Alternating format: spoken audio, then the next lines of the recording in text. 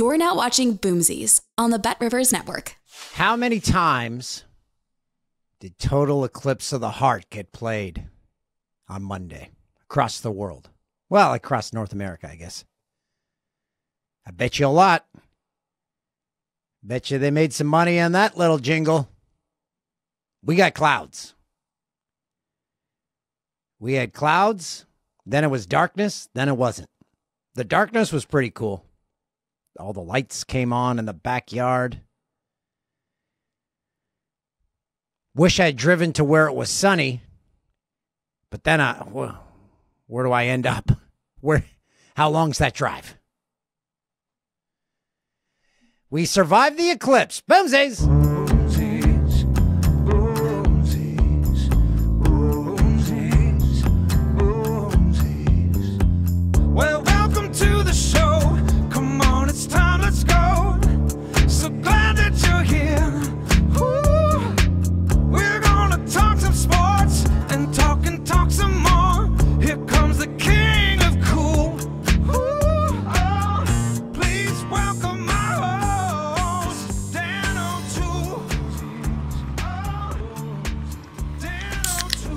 What's up, everybody? As someone pointed out on social media, they said, uh, go to sunglass store. Oh, to go to the beach, you'll need these $250 sunglasses. Solar eclipse glasses makers. Here, you can have these for $4 and you can stare directly at the sun. So, uh, the sunglass makers are pulling a fast one on us. It was a cool experience. Didn't get to see uh, the the full coverage of the sun, but we felt it. We we did it all together, which was kind of like a communal experience, and that's why I enjoyed it. I'm Dan O'Toole. This is Boomsies. Make sure you uh, catch me every Monday on the Bet Rivers Players Club YouTube page at 1 Eastern. I play all the best slots. And um, I always send out a link on Twitter just before I, I go live. Because as that stream is and as this podcast is, it's sponsored by Bet Rivers. So it's a online company in which you uh, you play slots, you can wager on sports, and I work for that company. So I do things for that company. And I, I waded into the comments, which I don't try to do. And when I sent out the link, someone responded with, Wow, embarrassing. And I'm a grown man. And in the days leading up to reading that comment, I watched a great discussion by former coworker, Nick Wright, where he talked about the influence and the negativity of social media. How he stopped looking at comments because he's like, same thing. You get positive comments and then you get that one negative one, and people say, oh, just ignore it. Ignore the haters. And he's like, you can't. You physically can't ignore that. So after watching Nick reading that comment, I decided I'm simply going to post things and I'm never going to look at the comments. So if I don't respond to you, I apologize. But I don't have time for that. If you have a an issue with me doing work for the company I work for, then hey, that's that's not my problem. I'm not on television anymore. So I'm not analyzing a, a, Blue Jays game. It's like if I worked for Disney and they say, "Hey, uh, why don't you go ride this uh, this new ride and videotape it?" What are you going to say? No. Say no. Of course I'm going to do that. So ignoring the haters is impossible. So rather than having to do that, I'm just not going to look. It's like the eclipse. Although when it was full coverage, you can look at it because the sun is blocked out. I did learn that. We didn't have that opportunity. So yeah, catch us uh, every uh, Monday, one Eastern, and also uh, I'm not the only one that streams for the Bet Rivers Players Club. You can catch a stream every weekday at six Eastern. Big week here in Canada, in Ontario, in Toronto, as the Toronto Blue Jays had their home opener. They were the last or the second last team to finally play their home opener. I would like one season where they get to play their first game of the year at home. I know they probably needed a bit more runway because they were finishing the renovations to the 100 level. They had to do all that in five months. A lot of work.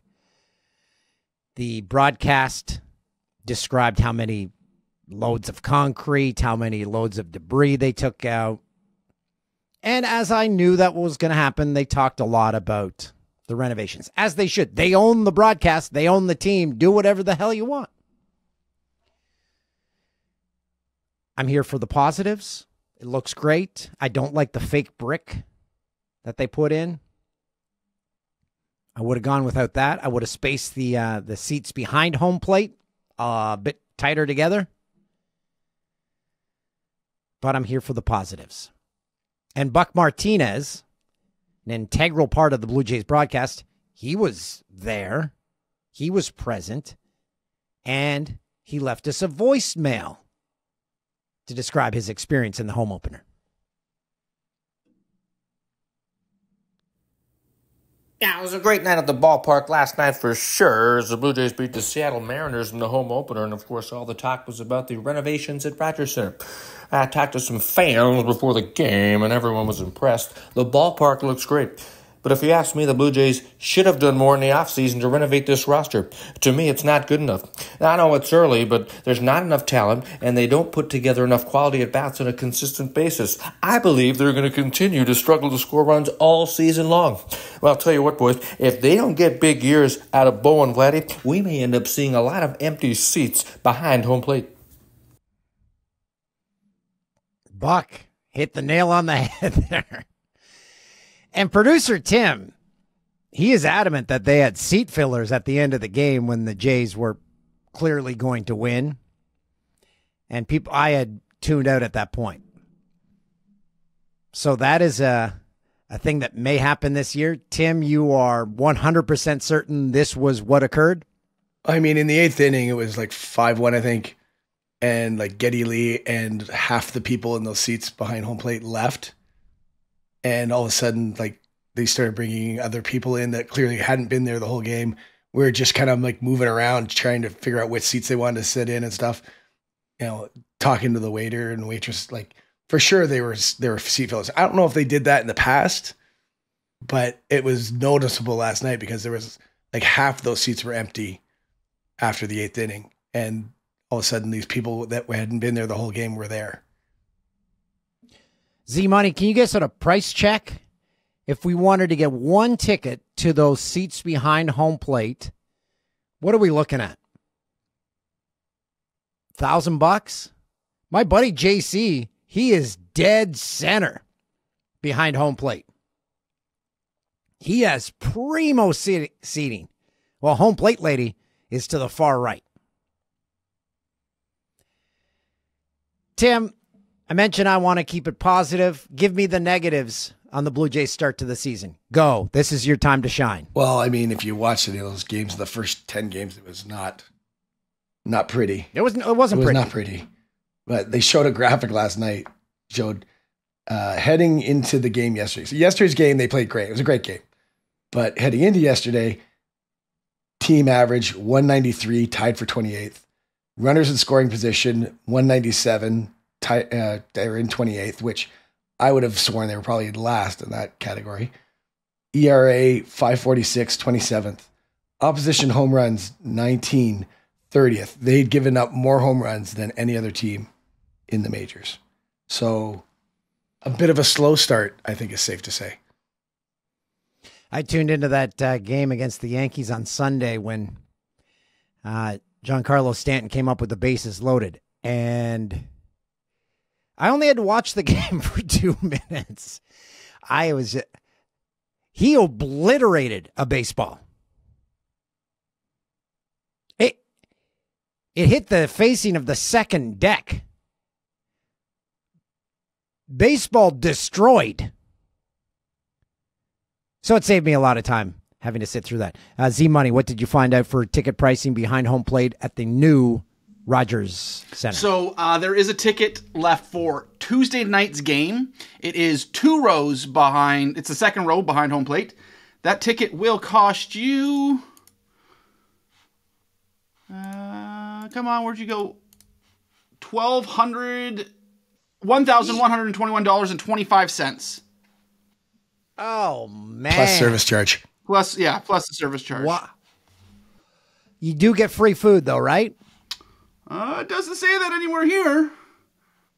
Oh boy! Sure, like I don't know. That is- I would hope that they would give you like at Dodgers. I mean, I I had the I was lucky enough once to sit in the president's area in the at Dodger Stadium, and when you walk in, there's basically like just giant canisters of hot dogs, of Dodger dogs, and drinks and bottles of water and pretzel or whatever you popcorn or whatever you want. You just take it and walk to your seat. Uh, I will never pay that. I will never pay for a ticket to a sporting event, which I have not done in my adult life, and I can I want to continue that streak. So I will wait for the phone call from my good friend JC to invite me to those seats. Uh, it's the the season's young. Let's not let's not get uh, downtrodden about the start of the year. We've still got the hope of Joey Votto, who's hitting off a tee down in Dunedin as he's going to make his way to this this ball club. So keep the dream alive. The lineup at times, ay, you're like, where, where we? Who's going to get us RBIs? Who's going to get us home runs? And I actually loved the pregame show before that Jays game in which Bo Bichette was asked the stat that he considers the most important for a hitter with all the analytics in this world, he said batting average. Bo Bichette, you're my guy. Thank you. Batting average, RBI, home runs will forever be the three kings. Don't care what era we're in, those three live on top of the stats pedestal for baseball. And don't come at me.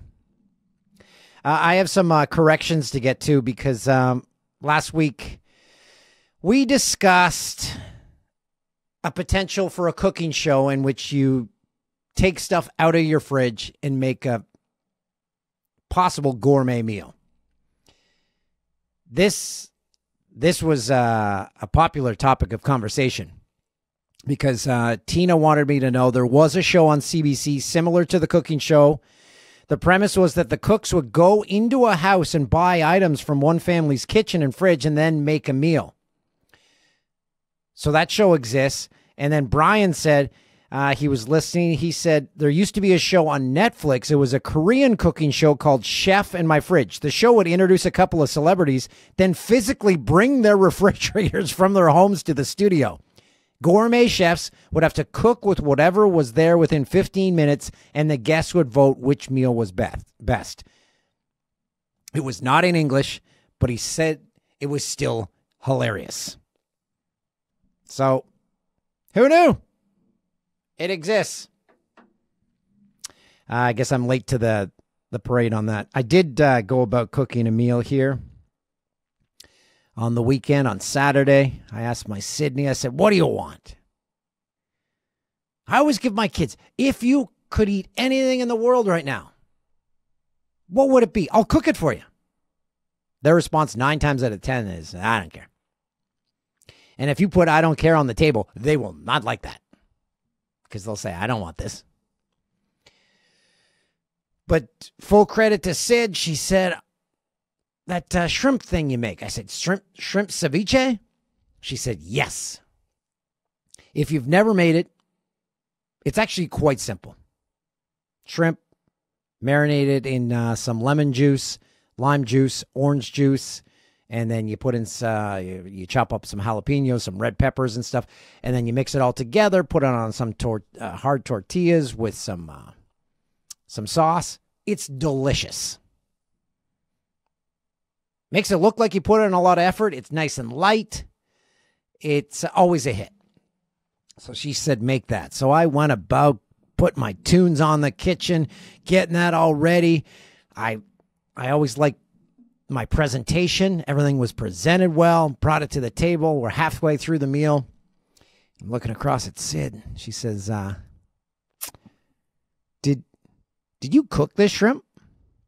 I said, "Oh no, it, uh, like tails were off and everything. It was cooked." It set it on the bag, and then my confidence started to wane in my own. eyes. I said, "Let me let me go check." So rifle through the garbage. That's what I discovered. We were eating raw shrimp. And I returned with uh, the meme face where the guy's gritting his teeth. I did that in real life. So the table immediately went into Google mode.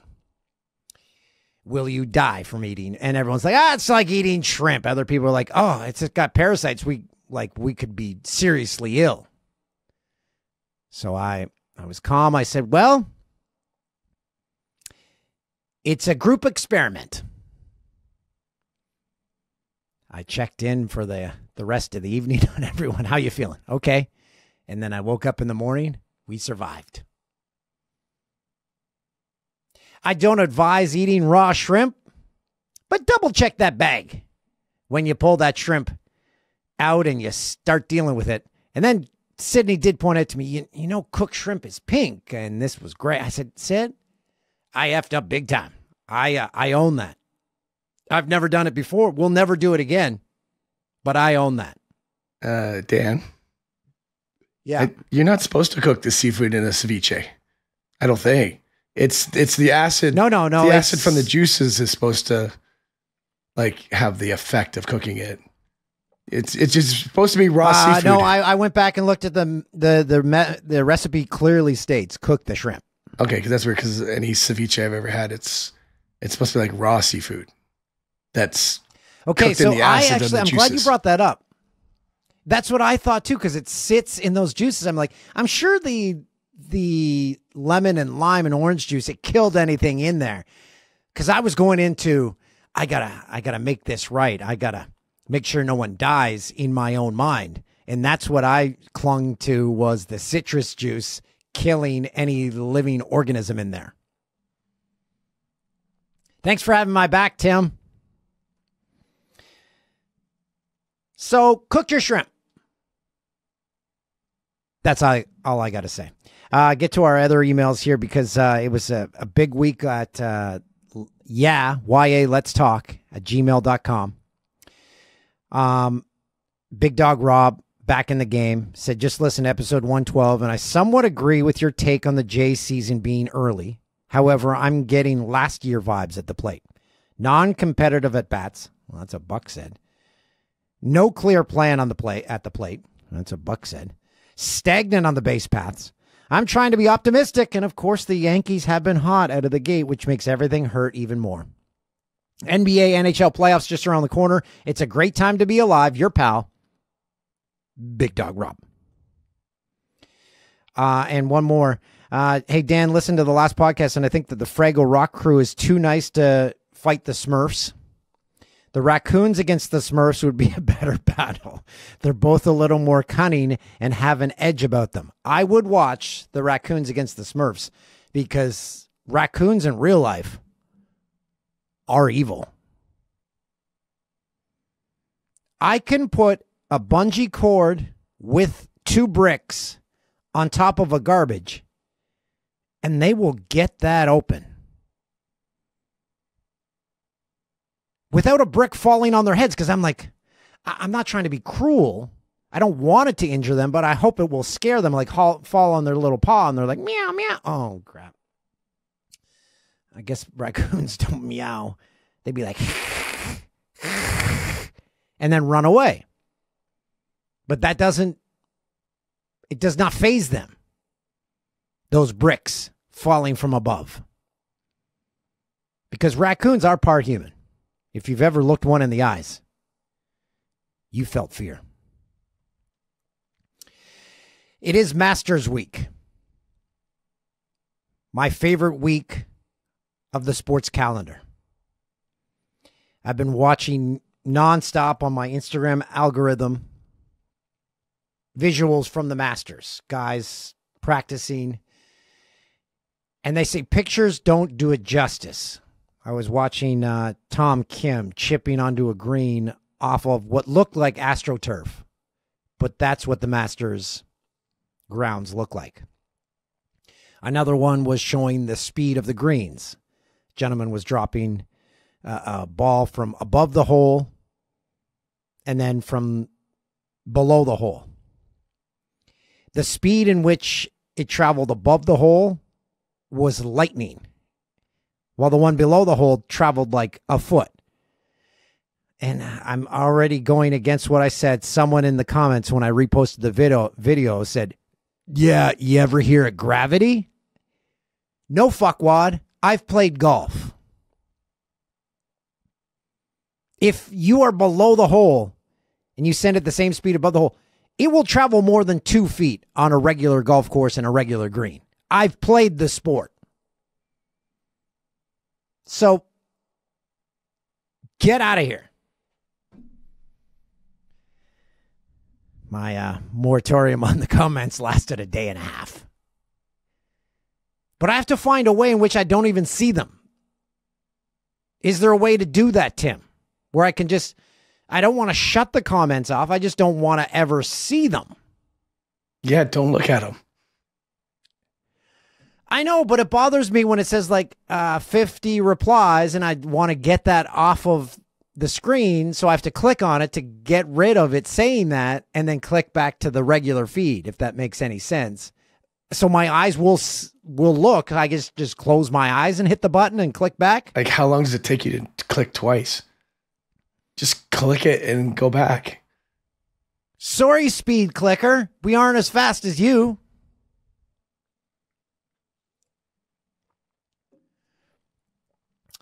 Looking at my masters picks, uh, there's some some good odds on some long shots. Namely, Mike Weir. If you win the Masters, you're invited back every year. So Mike Weir will be in the field. Weirzy plus 200,000. So if you put a $5 bet on Mike Weir to win the Masters, you'll win $10,000. I want to go through uh, my other my other picks. I do have two Canadian, three Canadians in here. Corey Conners, Adam Hadwin, and Nick Taylor. What do we have for these guys? What are their odds to win the Masters? Uh, Corey Conners is plus 6,600. Adam Hadwin is plus 20,000. Nick Taylor is plus 20,000. Who's the favorite in the field to win the Masters currently? No, I don't have that in front of me. Scotty Scheffler. No. Scotty Scheffler. Uh, some other picks I have. I do like Tom Kim. I really enjoyed the segment on him on Full Swing. So I've got Tom Kim in my picks. Uh, Brooks Koepka, Sahith Theegala, and Tiger Woods, who played with Will Zalatoris, who is another one of my picks. And Will said Tiger is hitting the ball the best he's ever seen. What's what's Koepka at? Because Koepka elevates his games at majors, especially since joining LIV, because he has something to prove. Koepka is plus 1,600. Oh, oh boy, one of the favorites. Um, so enjoy the Masters this weekend. It's the the reason I bought my first ever HD TV because I know the screens they f with them in the stores to make it look more clear. But I was walking by one year during the Masters and I said, "That looks like we're there." And that hatched the idea to buy my first HD TV, which I think I paid like three thousand dollars. That same TV now, you can probably get at Costco for two hundred and fifty bucks. But it is one of the great sporting events in which HD television shines. And while you're watching, I don't want to don't want to let any secrets out of the bag. But when you hear lots of birds chirping, those are piped in. It was revealed.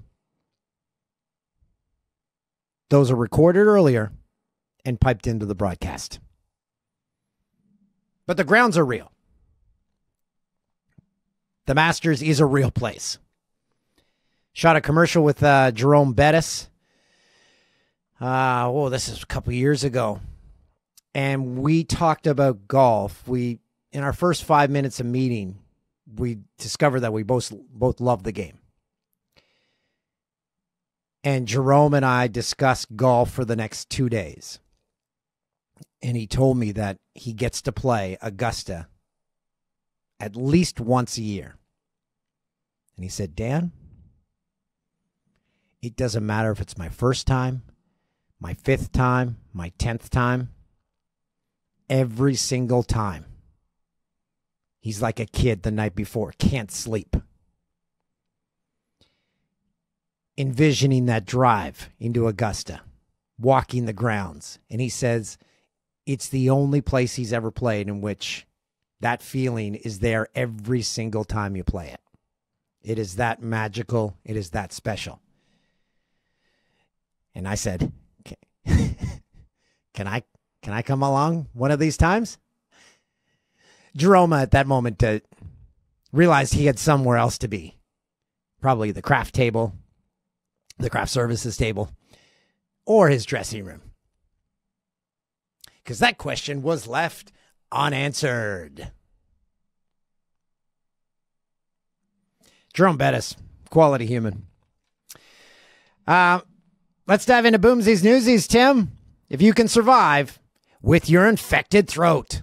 Uh, okay, let's start with the Phoenix Coyotes, Arizona Coyotes. Sorry. Uh, so as everyone knows, they they've they're trying to find a new arena. Uh, they're entering into this uh, bid for an, an auction for a 95 parcel, uh, 95 acre parcel of land in North Phoenix, bordering on Scottsdale, and of course, there's political opposition. The mayor of Scottsdale says that he's against the deal that it has to move west away from Scottsdale because they don't have the infrastructure needed to maintain a, a hockey arena. Uh, apparently, they don't have the water assets that are needed. So, And he also said he doesn't want a a project of that magnitude being built by a first time developer, I believe. yeah, there's a whole lot of red flags on this thing, isn't there? I kind of have to side with the uh, with the mayor because if I proposed an arena and said no, I'm going to build it, I would run from that project if I was anyone with the ability to approve of it, because you want a track record of someone building a project of that size. And the track record for the Coyotes is not great. But let's be honest, that team is never leaving there. As long as Gary Bettman is in charge, he will never admit failure. I think if they don't get this parcel of land, if they fail in this bid, it's going to set them back. God knows how long. That might be that might be it. Now that that doesn't mean that doesn't mean that the like they'll move that franchise out somewhere else, and then they'll probably just go back there with an expansion franchise with a you know a new plan or whatever. But How many times have we said about the Coyotes? Nope, this is the make it or break it. Remember uh, one night at our old workplace, Tim, there was a big council Yes. meeting. We're like, well, if they don't get approved here, and we we had to sit and watch this council meeting. We're like, "Thi- this is this is going to make the Coyotes stay or make them leave. This council meeting right here, and that was that was 15 years ago. yeah, also that council meeting was hilarious. Um, yeah, I think it's different this time just because they're playing in a 3,000 seat arena, a 3,500 seat arena. I think the NHL is kind of like, okay, enough's enough. Like, fix your shit or let's go. That's that should be the Coyotes franchise slogan. It's different this time. I thought you were going to say fix your shit or let's go. Uh, they do have a soft spot in my heart because of Connor Ingram. uh, friend of Boomsies, uh, just a great human, a lover of roller coaster tycoon, and hopefully he'll join us this summer when his season's over. He has taken the brunt of the workload in net for that team. Want to get uh, his thoughts on what the experience has been like playing in that arena that I didn't know until recently has bench seating in sections, like old exhibition stadium benches for fans to sit on, which is when you are a supposedly world class league, is somewhat embarrassing. just a tad. Uh, another Southwest uh, site that is looking for uh, uh, an NHL team, you know, probably expansion, but I guess technically the Coyotes could move there. Um, the Utah Jazz owner Ryan Smith took to Twitter and asked what uh, they thought an NHL team in Utah should be called, and they had suggestions for Utah Yeti, Blizzard, Golden Spikes, Saints, of course, Pioneers. Salt Lake City Stags, and Salt Lake City Eagles. Yeti, you can't do that because it's a cooler company. Blizzard, you can't do that. Dairy Queen owns that. You have to You go. can't trademark a blizzard. it's a weather phenomena. Yeah, you can, Tim. You have to go with Utah Saints. The name of my high school team. We were the St. Peter Saints. And go with the same color scheme maroon and gold. The NFL might have something to say about that. Whatever. So, uh, talking about synergy, Mitch Marner uh, has teamed up with Skip the Dishes uh, to uh, promote his candy box. So that it's called Mitch's Mix, and you can order it in the GTA.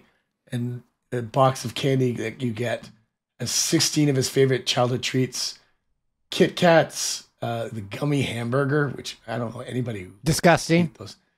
Blow pops and Fritos were all among the uh, things that were in it. So, Dan, if the people of uh, Orono, downtown Orono, could order a toolbox of treats from you, what would be in it? I just want to interject when you say Mitch Marner is partnered with Skip the Dish. Skip the Dishes came to him and said, "Here is a truck full of money. Um, pick some things off this list, and we'll give you the money." And he said, "No problem, partner." yeah, exactly. Uh, I w- I'm willing to partner with anyone when the payoff is you give me money. Okay, this is an easy one. I'm not going to do 16 items. I'll give you five. Crunchy chocolate bar, salt and vinegar chips, preferably uh, kettle style or Lay's. I bought the uh, no name salt and vinegar chips. I was always of the uh, the mind that all salt and vinegar chips are the same. But now, having eaten a few bags of no name salt and vinegar chips, I don't think they're real potatoes. I think they're made from potato starch or something because there's something fucked up about those. Uh, a product you can only find in the States, whatchamacallit chocolate bars. Big League Chew. I always like to get a chew on and some cherry coke. Those are my five items that will be in my uh, Toolsies toolbox. Tim, what do you got? All right, I didn't put a whole lot of thought into this, but uh, so I'll start with the liquid refreshment, which would be Diet Pepsi, uh, and then I have Caramilk, Cadbury Caramilk, the Cadbury Mini Eggs, Kirkland Overrated. Signature, tr- Kirkland no, Kirkland Signature Trail Mix, which is the perfect blend of salty and sweet, and uh, Chicago Mix. If there were um, food boxes to pick from everyone in the world, that would be the last one I ever selected. Uh, Z Money, what do you got? I'm going with uh, the Coke bottle gummies, Coffee Crisp, Big Turk, Sweet Chili Heat Doritos, and Cherry Coke as well. Of all the boxes in the world to choose from, that would be the second last one I ever selected. Troy, uh, it's up to you, buddy, to give us some salvation here in an edible box. All right, Troy's treats trunk is going to consist of Cheetos, uh, not the puffs and not the Flamin' Hot, just regular old crunchy Cheetos. Um, a big honey bun, uh, you know, what do they call the big Texas honey bun. Uh, a Reese's Fast Break Bar, really good. Um, a trail mix, uh, uh, like uh, producer Tim said, and then my drink of choice would be Mountain Dew. Oh God! Wow, the fact that of the three of you, two put trail mix into a candy box tells me there's something wrong. First off, trail mix is not a candy. Secondly, it's got raisins, which should make it punted from the earth. The Kirkland signature trail mix has M and M's in it. And raisins. And ca- yes, and cashews and peanuts and almonds. It's perfect. I'm surprised you didn't put bridge mix into your uh, candy box, Tim. No, I have. I was traumatized by bridge mix when I was a kid. Oh, because there was raisins in there too. My dad, that's the only thing he would ever get at the candy counter at Sears, which they need to bring back. First off, you'd have to bring back Sears. But at the Sears in Peterborough, Ontario, they had a candy counter, which was like magical to a kid. But the only candy my dad would ever get in would come in a little paper bag. They'd scoop it in there was bridge mix. So you'd have to wade through that and try find the caramel ones because there was also candy coated like gummies and candy coated raisins in that mix. It's definitely an old person snack because my One hundred percent, as is a big Turk. Z money. Yeah. They're delicious. Get out of here. Why don't you just say Turkish delight? Yeesh. Oh, Tim, can we finish on a mascot story that I had no idea happened, and it's probably the best mascot story because of the quotes that I've ever seen in my lifetime. Uh, gee, Dan, I don't know if I had that on hand. Oh, oh, wait, I do. A the Scott, the soccer mascot for the Queens Park Rangers, uh, who are in the English Football League second level, fired their mascot Jude the cat after claims he was flirting with females during the game. Uh, a source in the club said that the man was given multiple warnings to stop. Uh, the guy playing Jude the cat uh, said he was innocent because it's impossible to flirt with female fans because no one can hear him talk when he's wearing the costume. And also, but, but it's it's all physical. So Yeah. maybe yes, he's not talking to these female fans, but it's more in your face because he's got to he's got to use his body and his arms. So that means his flirting was very visible. It was not audible. It was very visible. uh, they also said that he couldn't get female fans' phone numbers because it's impossible since he doesn't have pockets to store the numbers in the costume. So if he was asking for their phone numbers, which this alleges, he was having to do it through hand signals. So he would be in his mascot outfit saying like pointing to their phone or pointing to a pretend phone. And either this guy was being handed a piece of paper with their numbers or he has a really good memory. And if you are one of these women Who's given their phone number to a mascot? You don't know what's inside there, except the knowledge that it's a stinky human, a stinky, sweaty, possibly horny human.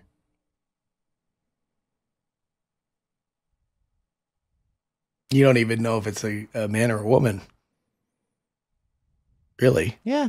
I guess, it, well, maybe it's the air of mystery that's driving these women wild at these soccer games. The air of something.